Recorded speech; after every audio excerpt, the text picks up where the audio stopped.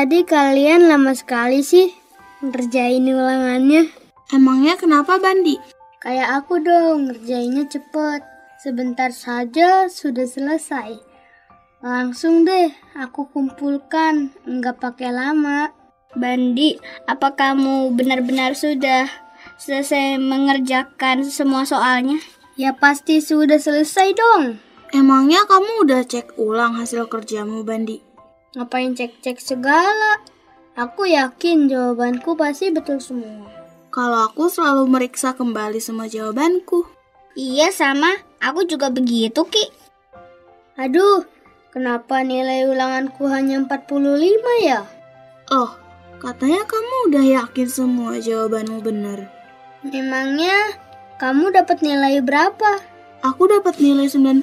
Aku juga sama dengan Muki. Aku dapat nilai 90. Adik-adik, mari kita membaca Obaja 1 ayat 3. Keangkuhan hatimu telah memperdayakan engkau. Ya, engkau yang tinggal di liang-liang batu, di tempat kediamanmu yang tinggi. Engkau yang berkata dalam hatimu, siapakah yang sanggup menurunkan aku ke bumi?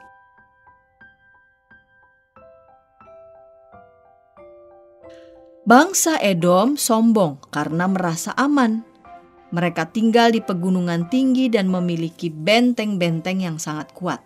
Mereka yakin kalau tidak akan ada yang bisa menyerang dan menjatuhkan mereka. Tuhan memperingatkan mereka kalau kesombongan bisa menghancurkan. Kesombongan membuat bangsa Edom tidak teliti memeriksa cara hidup mereka di hadapan Tuhan mereka hidup dan berperilaku seenaknya. Adik-adik, selalu double check tugas pekerjaan dan juga perbuatan kita. Jangan biarkan kesombongan merugikan kita. Mari berdoa. Bapa di surga, aku mau belajar rendah hati dalam berperilaku. Dalam nama Tuhan Yesus, aku berdoa. Amin.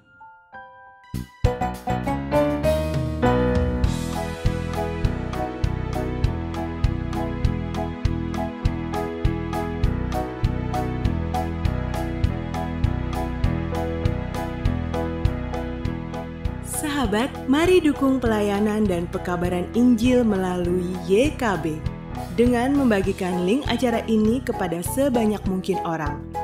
Dukungan juga dapat saudara lakukan dengan mentransfer dukungan finansial ke rekening BCA ke nomor 450 305 2990 450 305 2990 atas nama Yayasan Komunikasi Bersama.